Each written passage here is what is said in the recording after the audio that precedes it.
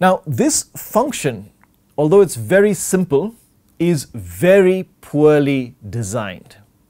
And we will see all ways in which this function is poorly designed. So firstly, this function has a very poor name, f. Now, in a mathematics book, when people are defining a function, they might use a name like f or g. But we're not talking about mathematics here. We are talking about code.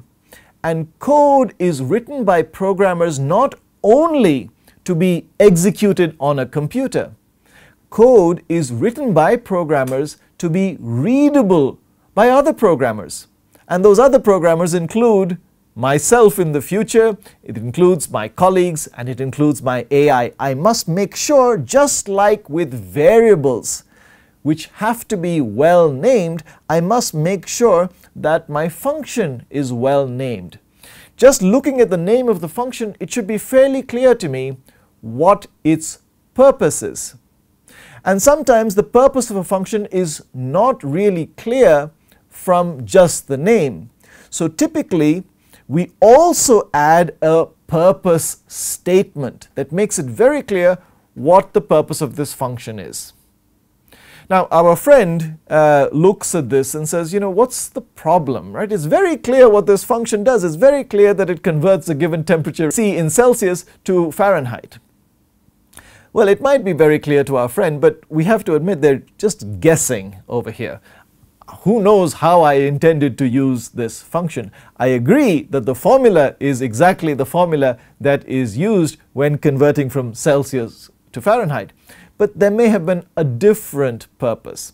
And while in the case of this very simple function, it might be quite easy for our friend to make a correct guess, it's helpful in general to choose a good name and make the purpose very clear if necessary by adding a purpose statement. These are principles of good function design. Furthermore, here in this function, it isn't clear what type this parameter c is. What kind of data is going to be passed to this function? In these two examples, we seem to be passing integers. Later on, we might want to pass floats. This is Python. Python allows us to have variables that are dynamically typed. And this parameter c, when it is assigned the value of an argument, it could be assigned any type of object. Remember, in Python, you can assign a variable, it's just a label, you can assign it to an object of any type you like. But it's helpful, again, while designing functions well, to make it very clear what type of data those functions are expecting. That way, when somebody actually passes some data to your function, uh, other tools, not Python itself, but other supporting tools can check to see if you are passing the correct type of data. These other tools are extremely helpful when we're dealing with very complex code with lots of functions.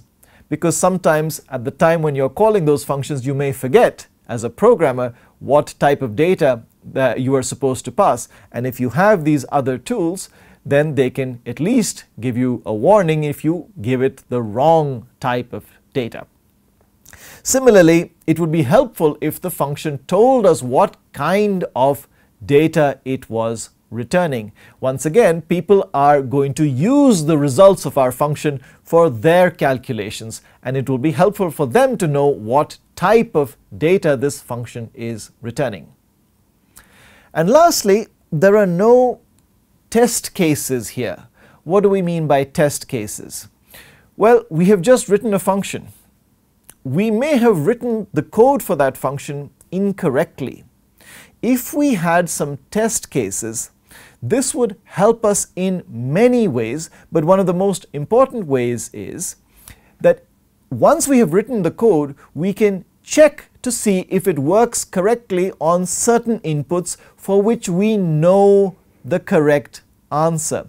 So it's a way to check to see if the code that was written is correct. This is particularly helpful when we use AI to generate some of the code for us. How are we going to trust the AI generated code? Well, we're going to see two ways. One, we will learn to read the AI generated code. So we will have to stare at it very carefully and critique it. But the other way we can uh, check the AI generated code is we can simply run the function on some test cases for which we know the answer on certain inputs and we can confirm if the AI generated code produces those answers. If it doesn't, there's a mistake in the AI generated code. We may not know precisely where the error is, but it's helpful to write good test cases. In fact, long before generative AI, software developers knew the value of writing test cases even before writing the code. This is something called test driven development. Google it to find out more.